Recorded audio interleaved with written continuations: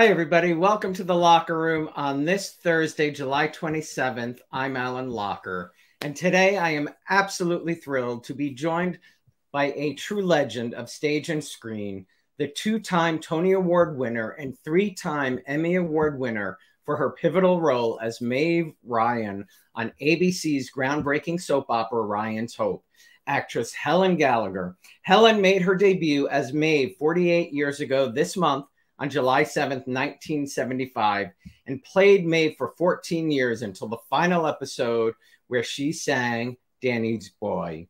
Joining Helen later in the show is her on screen son, Dr. Patrick Ryan, played by the talented Malcolm Groome. So, without further ado, please, please help me welcome the one and only Helen Gallagher to the Locher Room.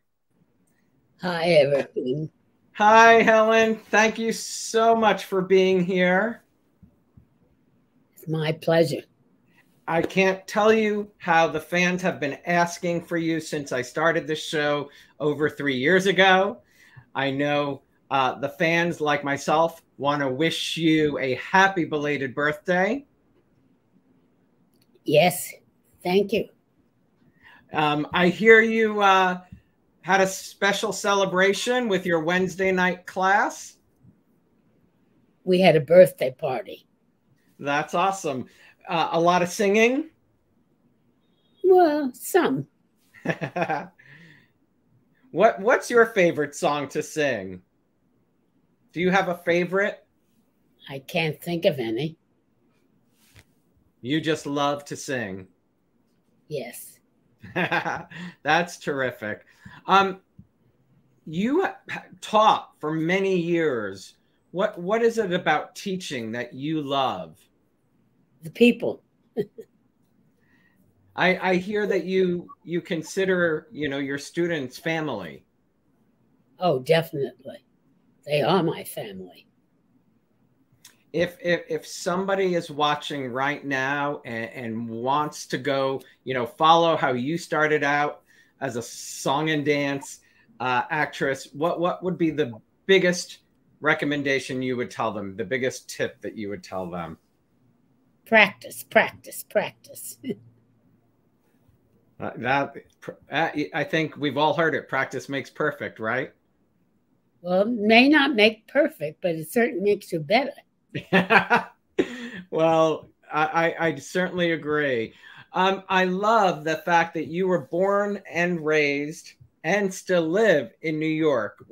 Talk about growing talk about growing up in New York. What was that like? Well, I grew up in the Bronx and it was great.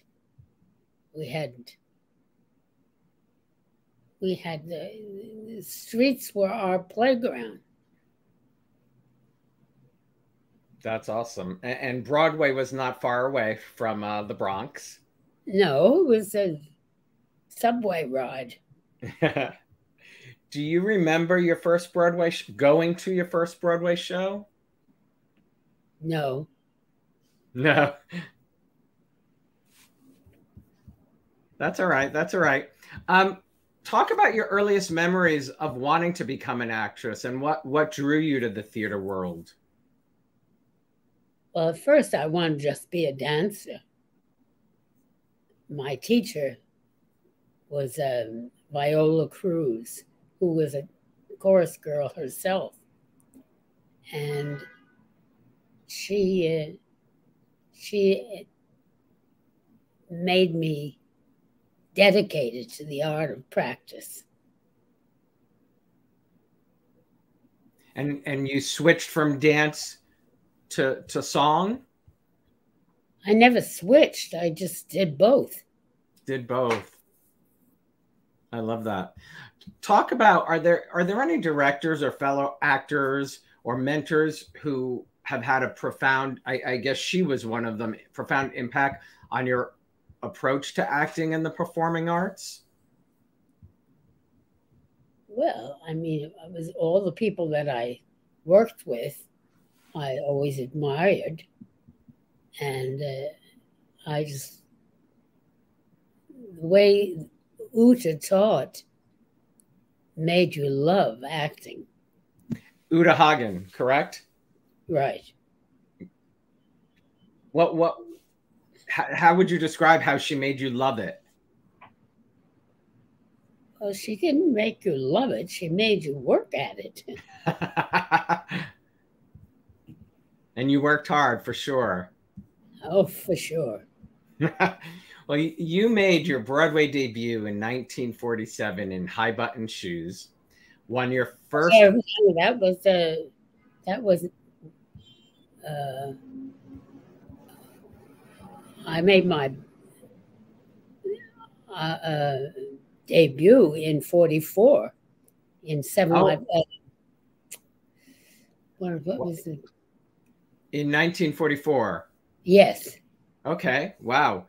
Um, and I believe you won your first Tony in 1952 for Pal Joey. Right. And your second Tony for the ro- revival of No No Nanette in 1971. What what did you know winning that first Tony? What did that mean to you? Well, I, I was never a great one for prizes. It was just the the fact that uh, I was recognized as somebody that uh, exceeded in. Yeah, that was what was important to me. Nice to be recognized. Absolutely. do, do you have a favorite stage role out of all of the stage roles you've done? Uh, I can't think of a favorite. They were always my favorite. They're, they're, all your favorite. That makes sense. Um, I have to tell you, I, I, watched an amazing interview you did with Mike Douglas in 1979 this week. The, the interview was over 12 minutes, and you were discussing theater and Ryan's Hope and saying, I Happen to Like New York. Do you remember that interview with Mike? I remember nothing. yes, you do. Yes, you do. I've been reading I've been reading Tom Lisanti's Ryan's Hope book, and there's some great, great stories in there that you and Malcolm share memories and, and all of the cast. Um, what do you remember? How, how did the role of Maeve come about on Ryan's Hope? It was always there. I mean, it was it was designed around it uh, because uh, Bernie Barrow, who was my love in the show, my husband and my love. Yeah. Uh, he just uh, he went to Ireland, and that's where he met me, and that's when he decided he wanted to marry me. And how did uh, Claire Labine and, and Paul Mayer approach you about doing Ryan's Hope? Do you remember that? They didn't approach me we approached them. Oh. A man named Howard Hoyt uh, had the idea. And uh, so that's, and I auditioned, and apparently they liked it. they they certainly did. They they certainly certainly did like it. Um, were did you do you recall if you hesitated at all to do a soap opera? No, I didn't hesitate at all because I loved the idea of the part. What was it about Maeve that that made you want to play her? all uh, that I loved was the, the fact that, that she just gathered children around her. And I've always gravitated toward children. She she certainly had a large family, Maeve Ryan. she, uh, she only had about seven, I think. Just about that. Um, do you remember, you know, those early days to go from stage to the grind of a soap? Did you find it easy, difficult to do daytime? No, I didn't. I loved the, the part. She was just uh, the center of a very large, loving family. And that's what I always wanted to be. I wasn't, but. But playing that provided that. That's right. It became it. Yeah. It, it, it really did. Uh, you know, Claire and Paul created Ryan's Hope. Um, what were they like? You know, what was your relationship with both of them? Claire, I absolutely adored. She died too soon, as far as I'm concerned. She did, very much so. I, I worked with her briefly on Guiding Light. Oh, she was a wonderful lady. Absolutely. Well, and I think I, I read that she modeled Maeve after her mother and grandmother. I never heard that. I, I believe if I have that correct, I think she that's sort of the inspiration. Um, sure. And I, I, wanted to read uh, Damon Jacobs of We Love Soaps had interviewed Claire, and she said the following about you. Helen sort of set the bar. We had kids to, uh, who had never been in a studio in their lives and had very little experience, even on the stage. Then we had our old timers who were a little bit cynical and who had been around the track a few times. And then Helen walked in with her two Tonys and the respect of everybody in the building and said, Okay, I'm a song and dance girl and I'm here to do the job. Helen came in every morning prepared. She was fierce, fearsome to the kids that were not. And anyone who had a scene with Helen really paid attention. And that was a gift to us. She is a gift to the world. That is what Claire said in one of her interviews. Oh, well, that's really kind. um, what was it like you know, was it different when Claire and Paul owned the show than when ABC owned the show? Did you find it different? Yes. I mean, when uh, when ABC took over, it was much more about timing and you know hitting the right notes and stuff. But uh, they were they were quite wonderful that's you know reading the book it, it, it, came across the love everyone had for claire and paul. Um, do you have uh, some favorite story storylines over the years that you remember? Well just the fact that they were loving loving people. Mm-hmm. and they really loved family and wrote family very well. Yes, they did. They they they, they really really really did. Um, Damon, who who had interviewed Claire, was also curious um, for you what it was like to go from Claire writing for your character of Maeve to the character on One Life to Live, the sex therapist Dr. Maud. I don't remember that. you did One Life to Live for a little bit, uh, and I think Claire wrote Dr. Maud for you. I don't remember it at all. You you mentioned Bernie Barrows. What? You meant you mentioned Bernie Barrows earlier, who played Johnny Ryan, your husband. Um, Loved him. did you hit it off from the get go? Yeah, pretty much. we had a little disagreements about, you know, things. But uh, D- doesn't every husband and wife?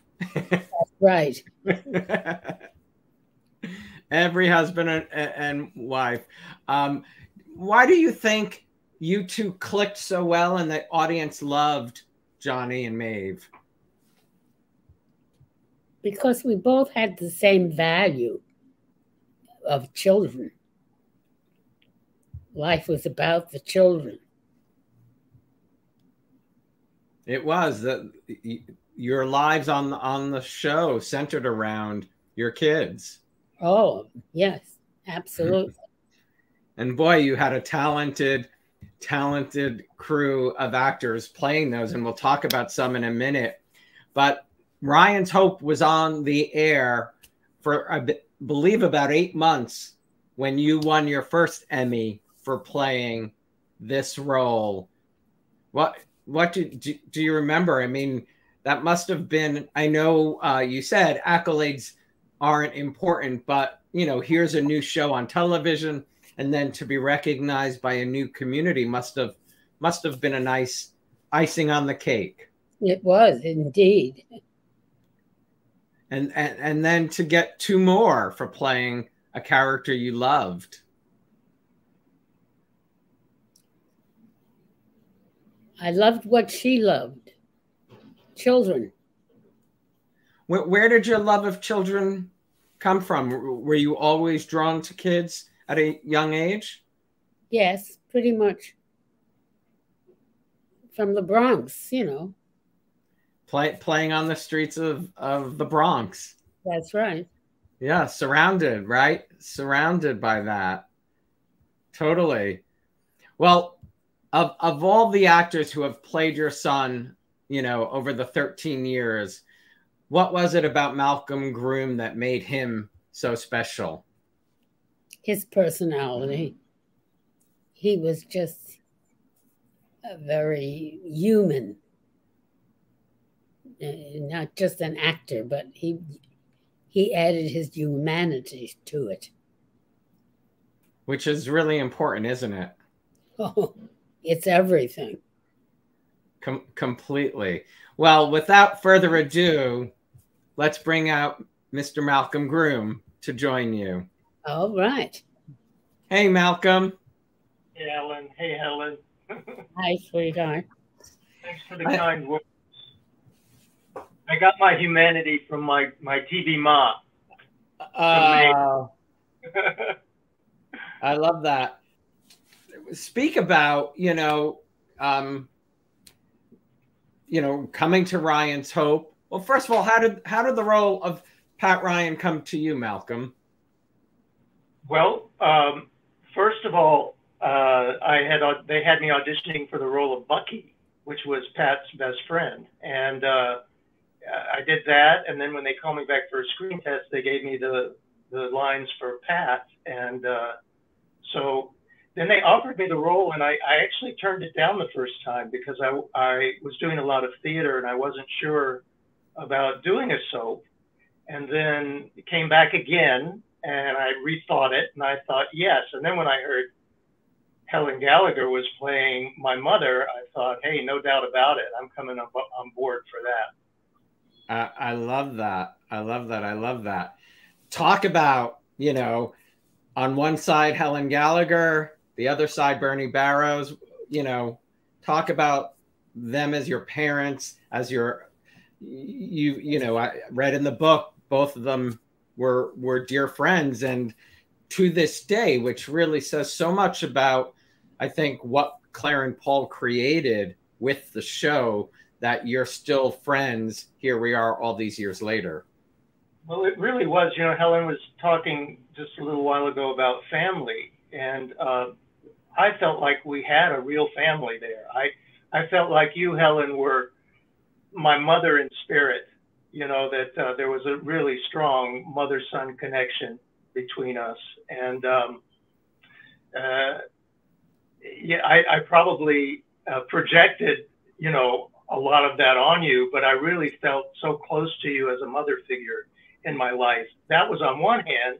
on the other hand, we were coworkers and friends. So it was a, a nice blend. And uh, that, that was the most amazing thing about Ryan's Hope was the family aspect. And it wasn't acted, it was real. There was a, a tight group of people. There was Nancy Addison and um, Ilene Kristen, Kate Mulgrew, of course, Bernie and Helen. And uh, we were just a very close group. Uh, we, we did things together outside of the show, and I went to, to Helen's country house a couple of times and had a beautiful time. And uh, yeah. yeah, and I heard you you went to Bernie's as well. Oh yeah, yeah. I, Bernie's out in Bucks County, uh, Pennsylvania. Yeah. So yeah. I and, love uh, that. Well, Helen, speaking of Kate Mulgrew, she played your your daughter. Um, what do you remember about working with Kate? Oh, I loved working with her. That's what I remember. She her her character Mary was quite popular. Her uh, I'm blanking on her boyfriend's name. Um, blanking on it. One of the fans will. Jack Fenelli. Yeah. Jack Fenelli. Yeah, yeah. Thank you. Um, Michael. Yeah. Did and for you, Malcolm, did you did you all sort of see that Kate would go on from there? Did you feel it working with her?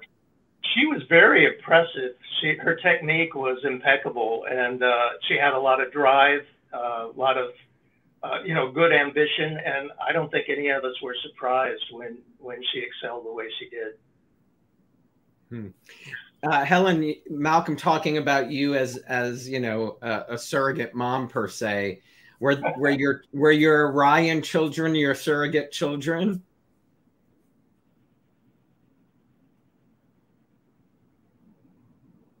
Helen. What? Oh, I wasn't sure if you heard me. The um, as Malcolm was saying, you were like a surrogate mom to him. Were were the Ryan kids surrogate children to you? They were friends. Friends. Very strong friends. I love that. Uh, Malcolm, I was going to ask, did you ever get the honor of seeing Helen on stage? Uh, yeah, quite a few times. I think the, the first thing, you remember you did uh, Gingerbread Lady somewhere out in Long Island, the Neil Simon play, Helen? Well, I remember, but I don't remember. Oh, okay. Kathy Tolan played your daughter in that. Remember Kathy? Kathy was a very dear friend of mine. Yeah, and and I saw you together in that play, and then I saw um, Tallulah a number of times. Um, it was at West Side Arts, and also um, Wynn Handman had you do a workshop presentation of it at American Place Theater. I saw that, so I saw it in its various phases as Helen was developing uh, that character. You were just marvelous in it. You were you were like personifying Tallulah Bankhead. Uh, I don't know. Did you ever meet her? I think you had met her, right? Tallulah? Oh, yes. Really? Mm-hmm. She was a very impressive. I bet. I bet. You you must have worked with some incredible people on stage, Helen. I have.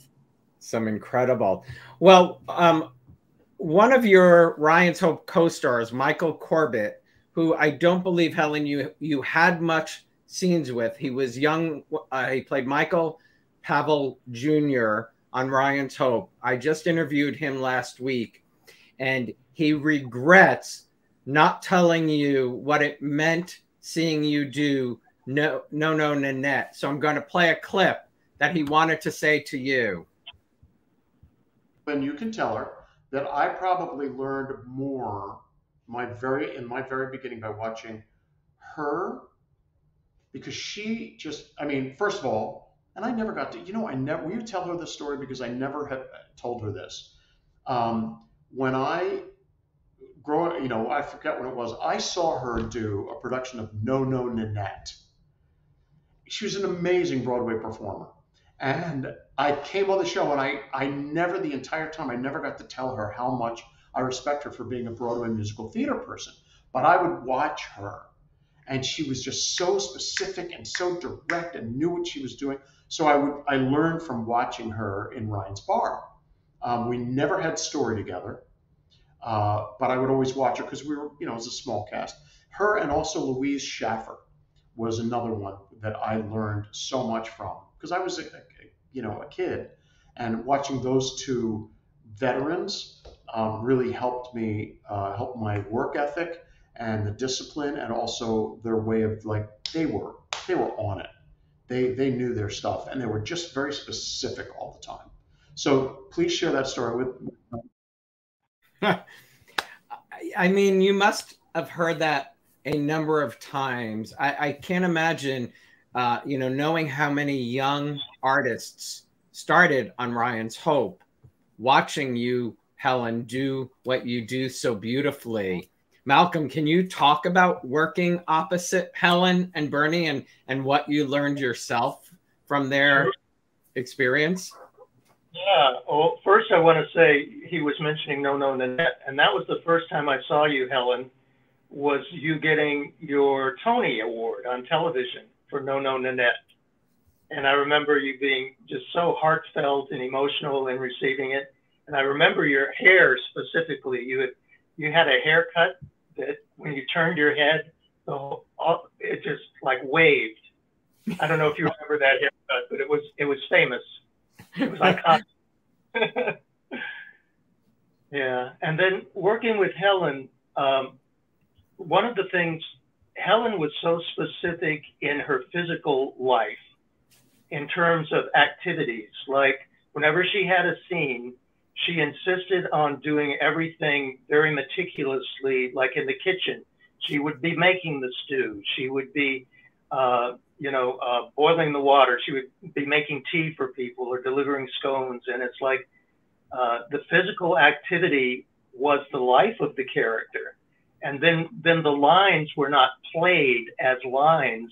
They were like real life coming out while she was living her life and that, that's one of the things I, I learned from watching Helen, a very major thing of of having a real life on stage and and being um, having having tasks that you're doing, which is what we do in real life. We don't sit there and deliver lines to people. We live our lives, and uh, so so that's one of the main things I learned from Helen. Besides her her incredibly deep emotional life which affected everybody around her when we were playing a scene. You were so grounded, Helen, that it helped us all be grounded. That it helped us all realize that uh, that humanity that we were talking about. Playing a scene with Helen was like nothing else.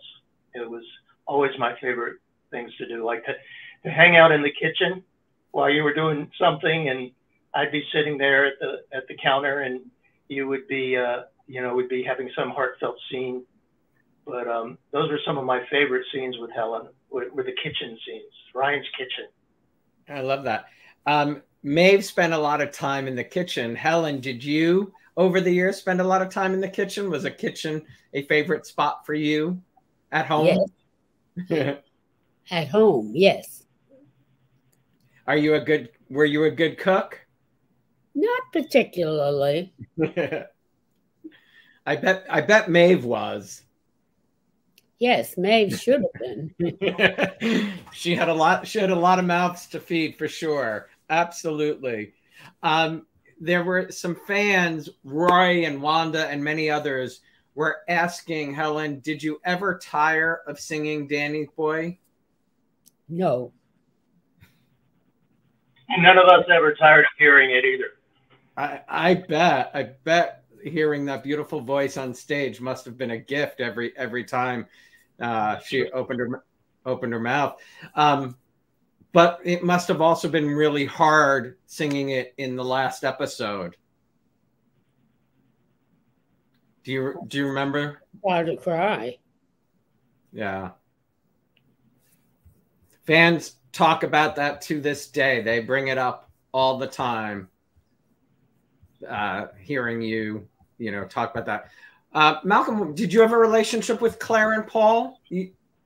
Uh, yeah, uh, we all did, and um, yeah, like Helen said, I, lo- I loved Claire and like you got from the book. I didn't realize that book was out yet. It's Now- not. I'm I'm reading it now in advance. Uh, okay, I thought I thought Tom, you know, um, Which so, was really um, helpful.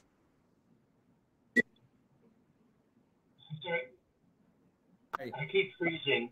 Yeah. Um, you can't really see it, but there it is. Um, Oh. I. It, it's been very helpful. I didn't know I would uh, get to read it now, but uh, yeah, some great information in there.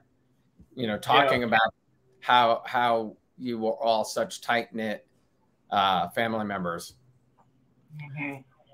And What did you love was- about Dr. Ryan playing Dr. Ryan? Um, well, uh, what did I love about? I loved I loved the storylines they gave him. All the storylines with Delia in the very beginning, the very first uh, scene. Claire had written this. It was like a three or four page speech uh, where I was talking about an Irish myth of the River Shannon and t- talk, talking to Faith, and it was poetry. And that that's one of the things that Claire was so good at. She was a poet. Her scripts would be just full and poignant and uh, full of metaphor and beauty. And uh, that that's one of the things with Claire. She had, she was like a force of nature. She'd come in the room. She was larger than life, and she was a a tall woman anyway. Yeah, I was going to say she was like six something, right, or five eleven, or like it, yeah. And Yeah. she would come in room, and the room would be filled with her energy and her enthusiasm, and whatever she would be talking to you about a storyline, you would get so excited about it because she was excited about it. So, uh, yeah, you asked about how I, I how how I felt about Claire, and it was totally an admiration of her. And It's, Paul uh, was her host. so you know Paul was kind of he wasn't quite as major in, in that creative force, but he was her support and uh, you know uh, would would bounce things off of her, and uh, so together they were a great team. Um, one of the fans, Travis, said that Mary's death is one of the most shocking moments in daytime soap history. It you- was.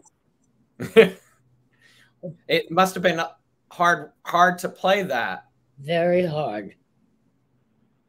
and, and hard to lose uh, the character from the show. Yep, it was. In fact, they wanted to get uh, uh,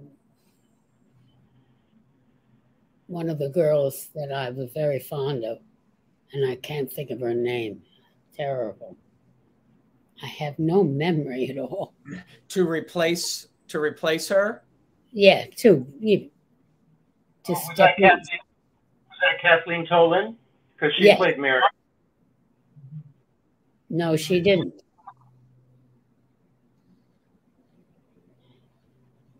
She didn't take it. I told her not to. I said, You'll never make it. she would. It, it was too hard for her. You thought? No, it was just too hard for them to replace Mary. Uh, Gotcha. Yeah. A popular that- a popular character like Mary. And Kate was so strong in the role. I, I, I think it was hard for anybody to come up to that level after that. Although there were some talented actresses, they had three or four, I think, that played Mary over the years. And then finally, I think it was um, Nicolette Goulet. Is that her name? I think That is Nicolette Goulet. Yeah, Nicolette Goulet. They killed her off. And I wasn't on the show then. I had left the show and then I came back later, but I, I wasn't there for Mary's death myself. But I watched it. Did you watch after leaving? Oh yeah, did you- yeah, I followed it. I followed it. I love that. I love that. What what was were you there uh, for the final? I can't recall. yes. And- And for for the cast listening to Danny's boy for the last time, what was that like? It had to be emotional. was yeah helen was very emotional seeing it. Whenever helen was emotional it would like be so uh there would be reverberations and depth to it. And uh and we were all there listening, and it was a very poignant moment, and it felt like the whole history of the show was in that rendition of Danny Boy, that Helen embodied the whole, encompassed the, the entirety of Ryan's hope in that that singing. In, in that three minute in that three minute song per se, and and 14 years of Ryan's hope. Mm-hmm. And they would have shots of each of us listening, and everybody was very full, emotionally listening to it. And then Helen did something at the end. Uh, I don't know if you remember Helen. I think it was an ad lib. I don't think it was written. She finished the, the song and she said, "Have a nice life." And, no, and it was ad lib. Yeah, yeah. ad lib, right? And and I felt like it was Helen's blessing to all the fans, to all the actors, that it was a, a blessing to we're gone now, but you this is over, but you have a wonderful life, you know, and it was good ad libbing, Helen. it was it was perfect. It, it is, and a great great way to to sum up that that for you know those 14 years. Um, a, a fan was asking Malcolm if you had any thoughts on Faith Catlin, who uh, who played Faith the first time.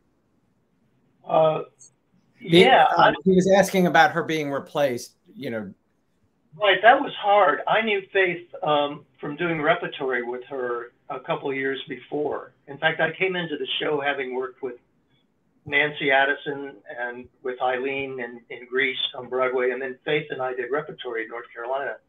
So we were already very close and uh, had kind of a brother sister relationship, and it was it was very hard to see her written off the show.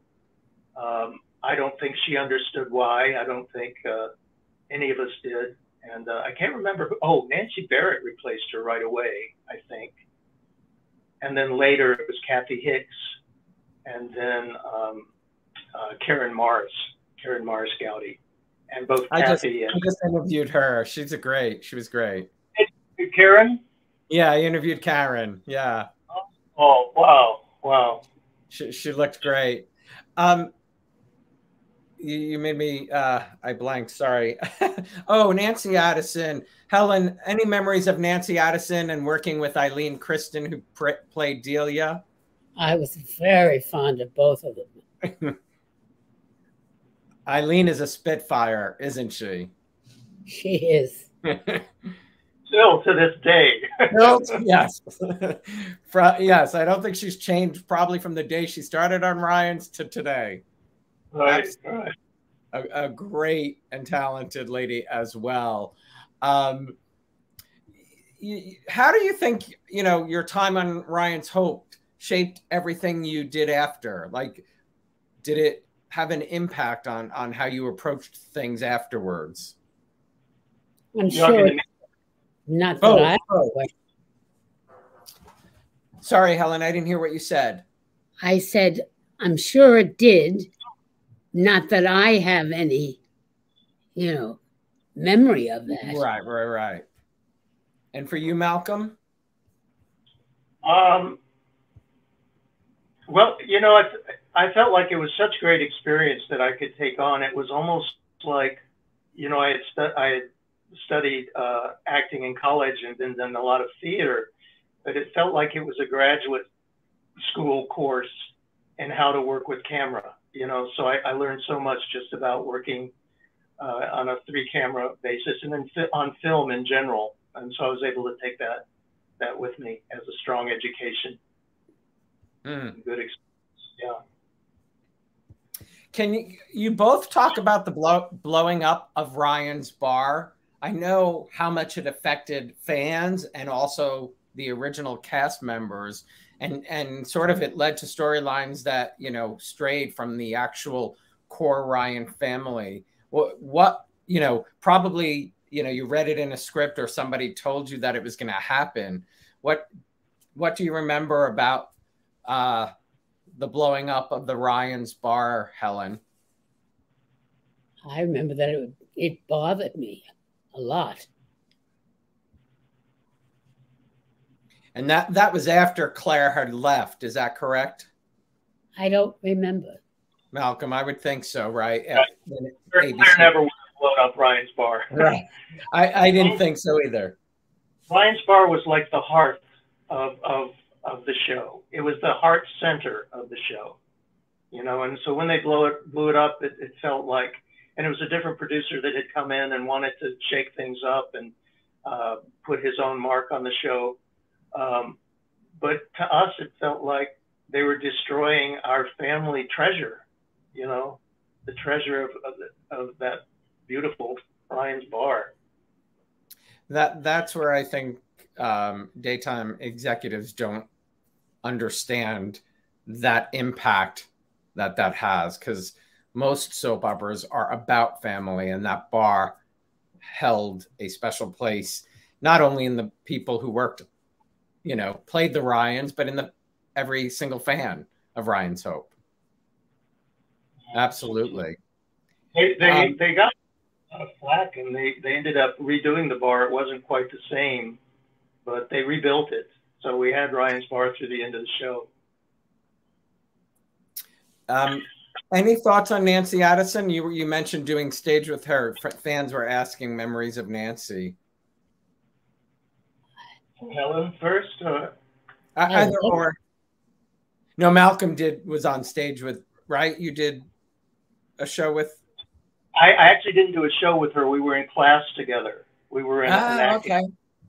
That's how I knew her, and uh, we had a really close friendship even before the show started. And um, but that that was devastating when Nancy got sick. And in fact, uh, that was the last time I saw you, Helen, was at her memorial service. And it seems like just a few years ago, but I was just looking it up, uh, and it was 21 years ago that Nancy died. Wow. I, I believe and that, that it been.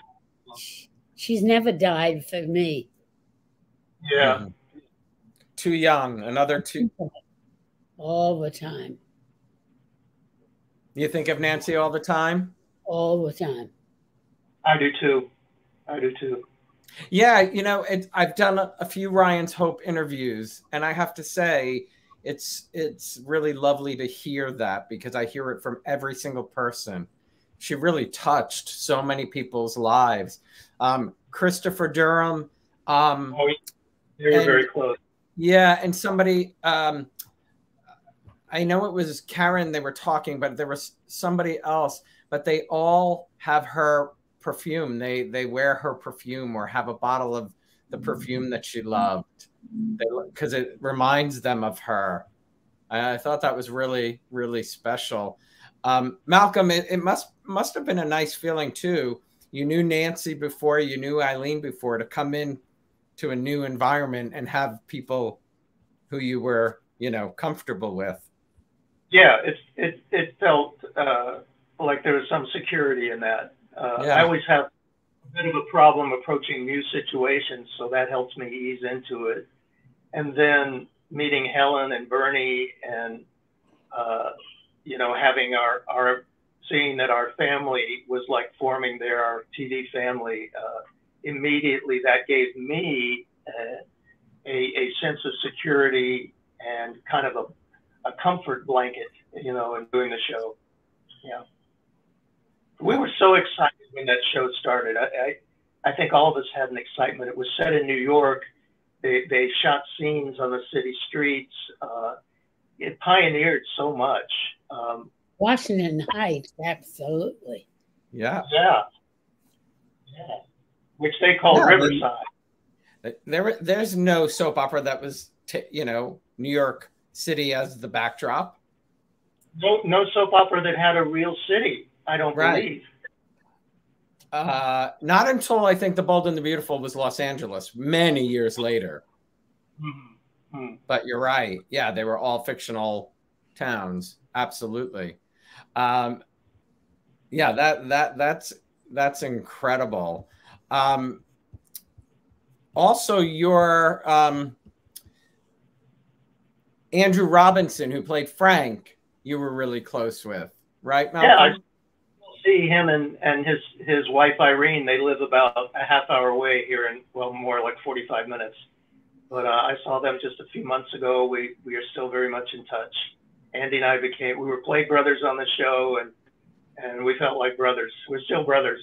So I, I love that. You know, it's it's interesting. You know, when you do stage roles, both of you, um, you don't normally keep in touch with everybody, do you? Is that a Some, typical?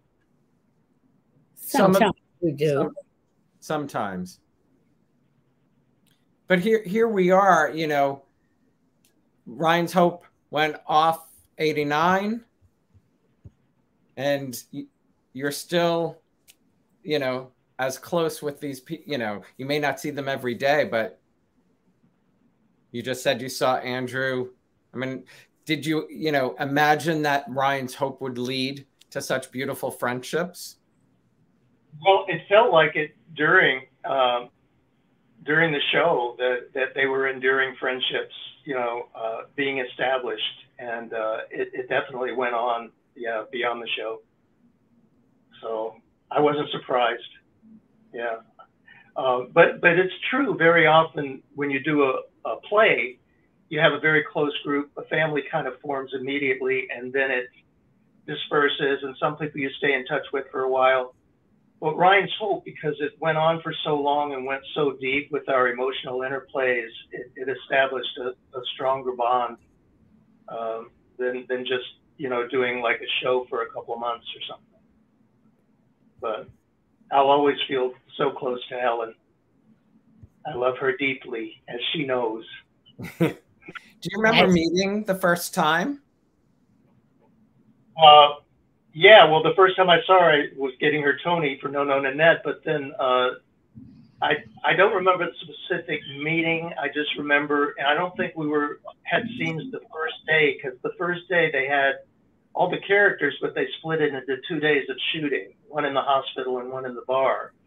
But I remember when I saw Helen, um, I felt like she was kind of looking at me like. Uh, looking at me up and down. So you're supposed to be my son or something. you know, I felt like getting sized up. But immediately we fell into uh, a wonderful working relationship.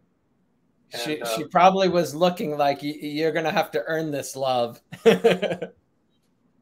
Maybe, maybe uh, earn her respect as an actor. Anyway, I felt that that I needed to to really get my game up. You know, to be playing with this uh, iconic Broadway legend, Helen Gallagher.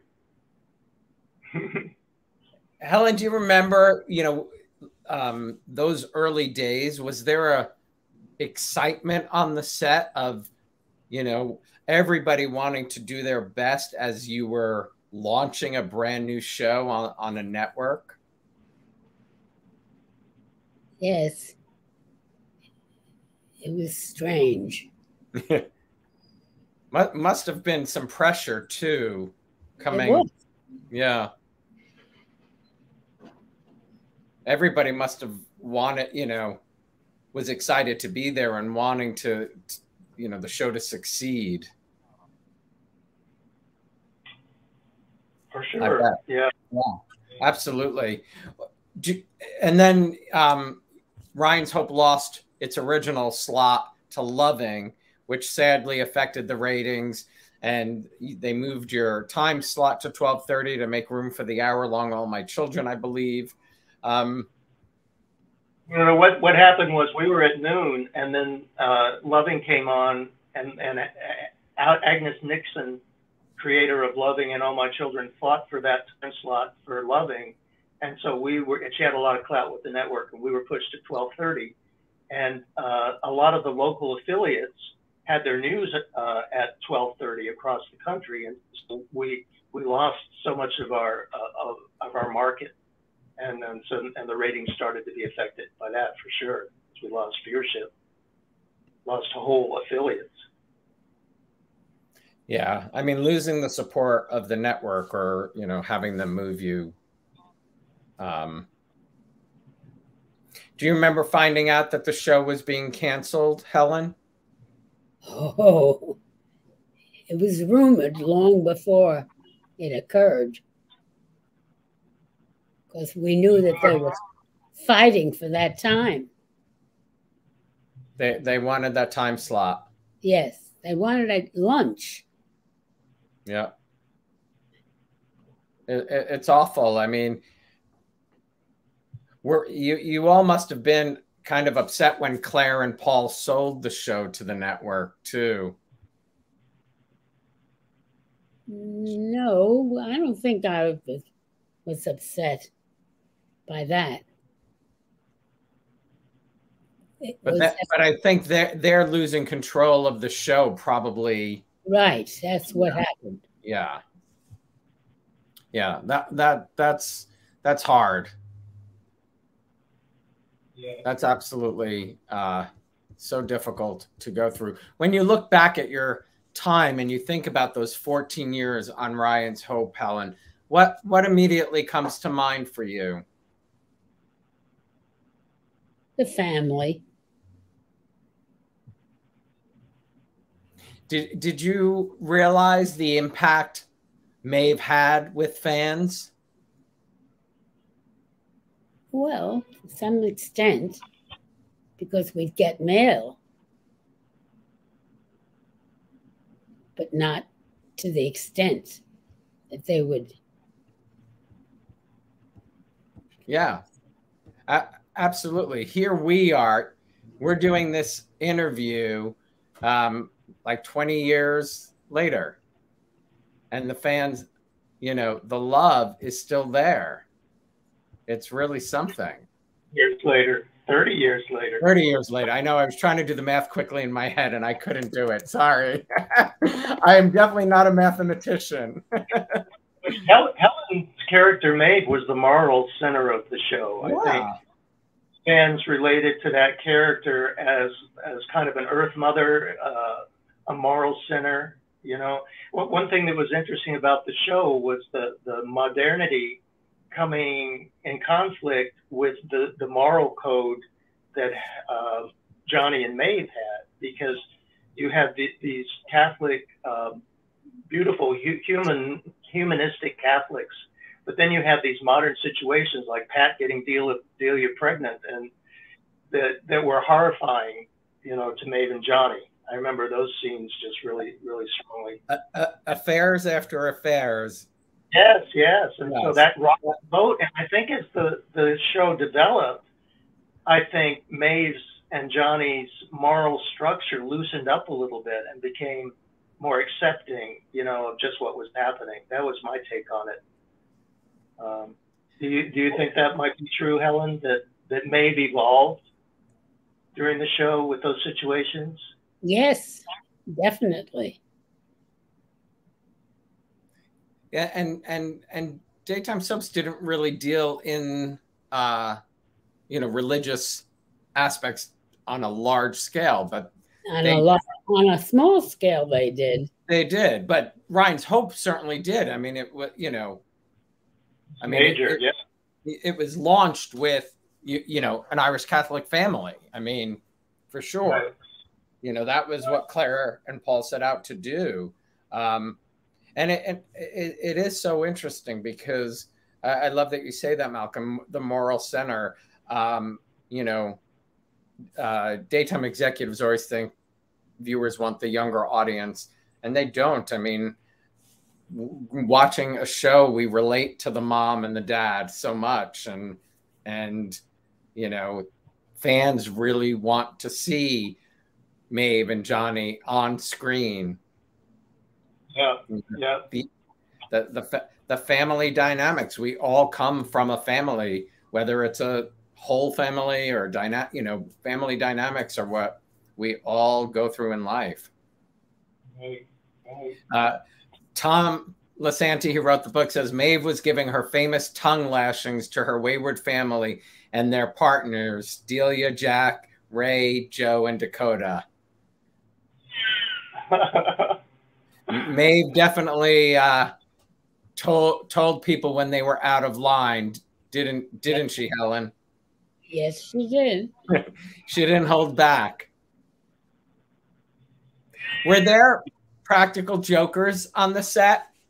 Somebody who always cracked you up? That was Dickie Briggs. He was oh, stage manager, Dick Briggs. Yeah, yeah, yeah. You, you know, one of the, the most fun things was when was St. Patrick's Day when they would bring in remember Helen, a woman named Vivian, came in and would teach us uh, Irish jigs, and you know the. Oh yeah, he was a good jigger. Yeah. Some of my favorite moments were were doing the jig with with Maeve. I love that. Yeah, I have strong memories of that. Yeah.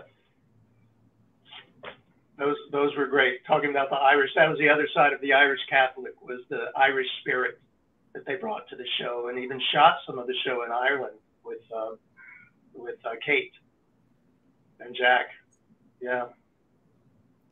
So, yeah, and they were probably a um, um, one of the first shows to go to Ireland. I would think. I don't think there's been many daytime shows that have gone.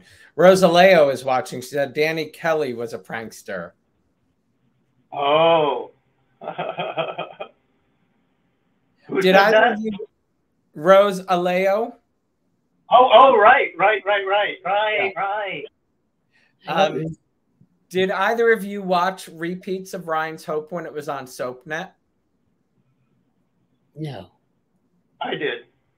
I, I taped them. I recorded them. Oh, that's yeah. great.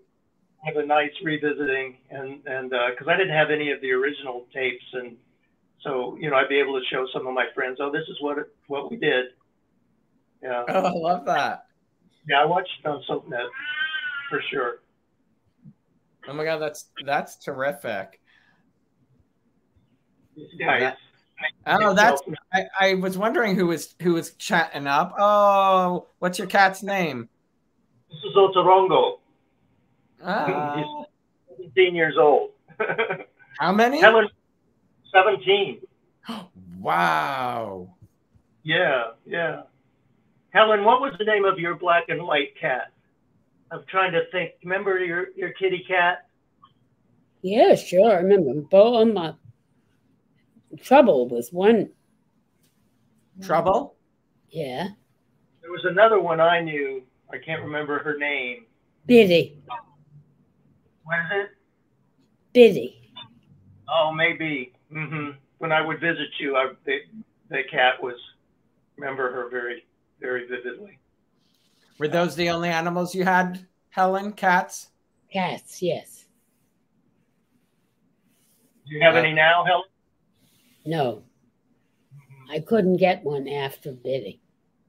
It broke oh. my heart. Oh. It's always heartbreaking to lose a um, pet companion, for sure.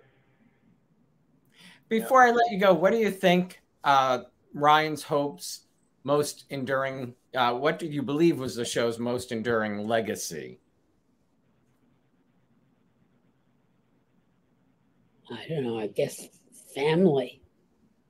Mm-hmm. I, I, I would always, say. It always comes back to that. You know, we keep saying that, but it's it's true. You know, I think people were very impressed with the family aspect, and people, if they didn't have a family, loved watching the show because it gave them that sense. Yeah, right, absolutely. Helen, many fans were asking, you just celebrated 97. What what is your what is your uh, gift to a long life? What what do you attribute? My mother lived to 101. Wow.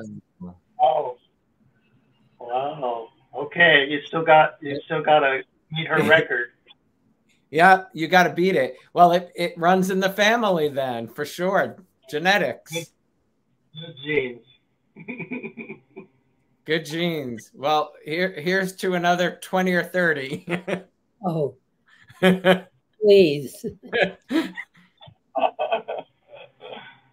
Helen, Malcolm, thank you so much. The fans, thank you so much for the for the gift of Ryan's hope and I thank you both so much for spending this time with me. Thank you. Yeah, thank you, Helen. It's wonderful to share this with you, Helen. And with you. Stay well. I stay, period. Have a great afternoon, you two. Okay. Bye bye. Bye. Thanks, everybody. Thank you, Helen Gallagher and Malcolm Groome, for spending the hour reminiscing about their time on Ryan's Hope. Don't forget to order, pre order Tom Lisanti's Ryan's Hope, an oral history of daytime's groundbreaking soap uh, that changed daytime drama with this in depth, intimate, and entertaining cultural history in the words of its cast, crew, and creators. I am loving it, and I did not watch Ryan's Hope.